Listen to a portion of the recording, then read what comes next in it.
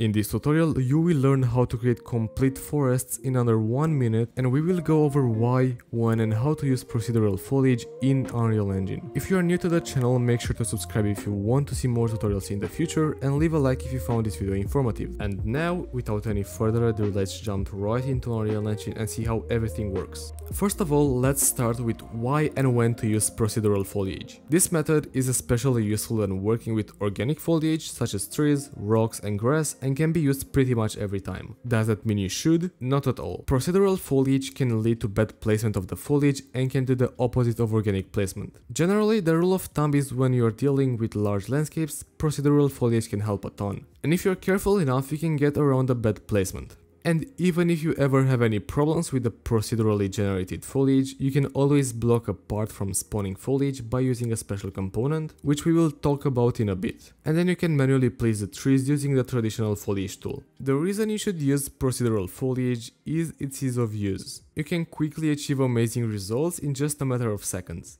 My recommendation is, whenever you can use it, you should as you'll have more time to focus on other parts that are lacking at that moment. Now let's see how we can create procedural foliage. First things first, this is an experimental feature. That means that we will first have to enable it. We can do that by going to Edit, Editor Preferences, then we will have to search for the name, and that is procedural foliage. And I can already see it here. So let's enable this, and then we will have to restart the engine.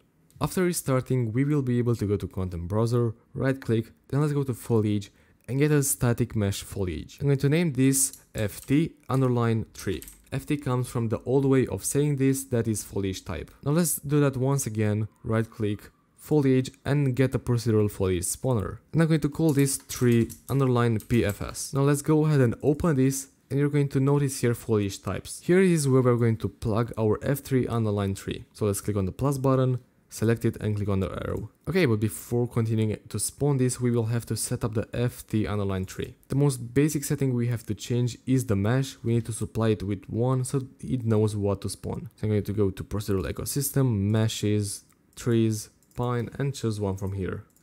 And now we can get the PFS, drag it into the world, let's scale it up, going to go with 20, and now if you're going to go to resimulate and press it, you will be able to see the trees spawning. And this is already a pretty nice result. But there are two problems that I can immediately spot. There are too many trees and these trees are aligned to the normal. So what we can do to fix those, first of all we can go to collision, then shade radius and set this to a bigger number. And this is basically like a sphere component around every tree that is basically saying hey don't spawn any other tree in this radius. And then for the alignment we can just go and search for align to normal.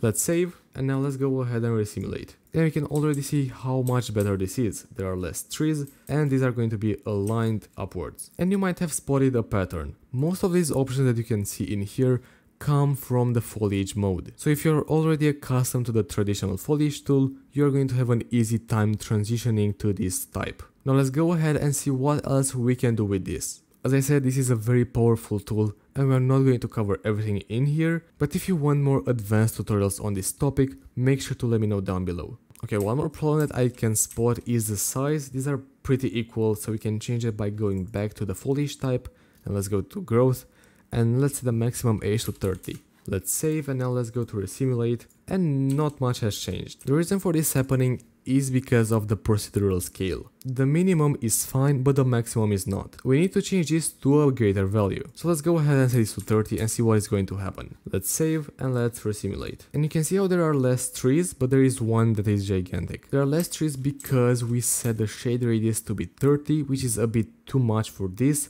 mostly because this tree is so big. But we can adjust this by going back in here and instead of setting this to 30, we can choose something like 50 Let's save, let's go back to resimulate, and now we can see that there is just the right amount of trees and also the size varies a lot. Okay, now let's go ahead and duplicate this FT underline tree. Then let's go in the PFS, let's create another foliage type and assign to this one the FT underline tree one. Now if I'm going to resimulate like this, nothing is going to change because both trees are basically the same. To fix that, let's open up FT underline tree one and let's change the mesh to something else. I'm going to choose something from winter so we can easily spot the difference. And then let's go ahead and save and set the size of the foliage spawner to something higher so we can see more trees on the screen. Let's resimulate and I will be able to see that there are more types of trees. Well, by more I mean only two, but there is a difference between the normal type and the winter type. And with this tool you can use as many trees as you want. You can use 50 types, you can use 100 types, it doesn't matter. It is going to neatly distribute them in this volume and you're not going to have to worry about variation. Okay, now let's go ahead and make this even larger. Let's make it 300 and then let's resimulate. Now let's say that you don't like how things are distributed. You can go to the spawner and you can change this random seed. Let's set it to 45, let's save and let's resimulate. And now you can see how everything changed. Okay, now that we got all that down, we know how we can create procedural foliage. But currently this is not playable. If I were to have a character in here, the character would not be able to move through the forest. To fix that, Epic implemented procedural foliage blocking volumes. Let's drag one of these in here and let's see how they work. First they're pretty small so let's scale them up. I'm going to go with 100 on the y-axis, let's go with 50 on the z and 10 on the x. Okay, now you can see that it is pretty big.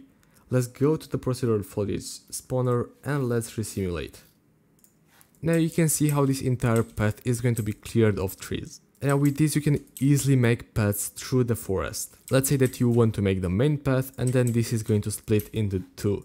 You can make this by copying it and then rotating it a bit, moving it here, then copy it once again, rotate the other side, move it right in here, and then we can go back to the foliage spawner, let's go back to perspective, let's resimulate, and now we can see the path, one to the left side and one to the right side. And this is only a simple example, you can go ahead and create a lot of other stuff with this.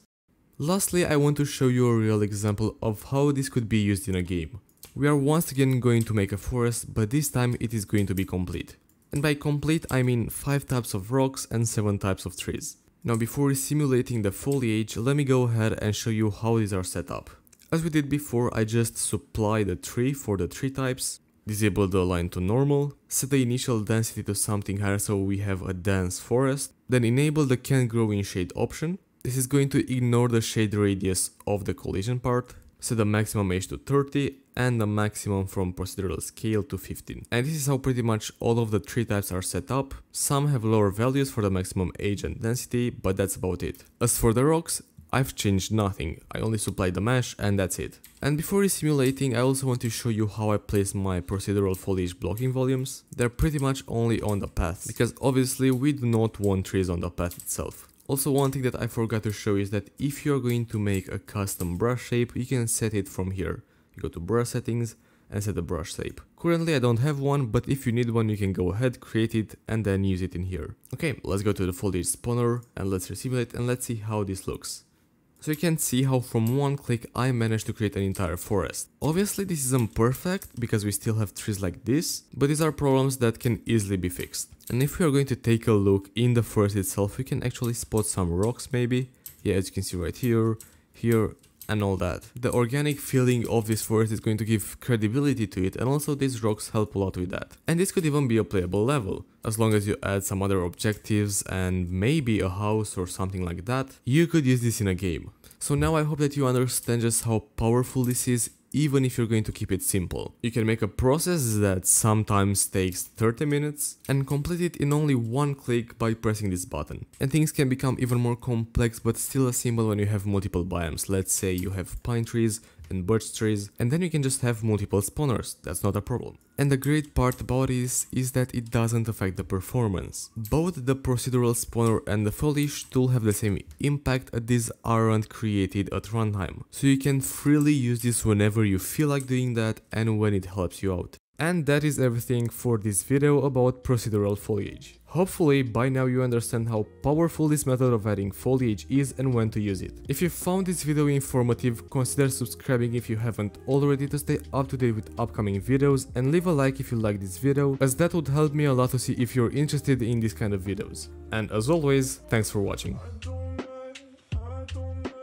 I want to give a huge shout out to all my patrons for supporting me this month and not only and especially to these top tier supporters. Badral Kaktani, Darklich NY, Golden Glowmaster, Leonardo Pereira and Xin369. For more resources regarding this video, make sure to visit its description. Once again, thank you so much for watching, see you again soon.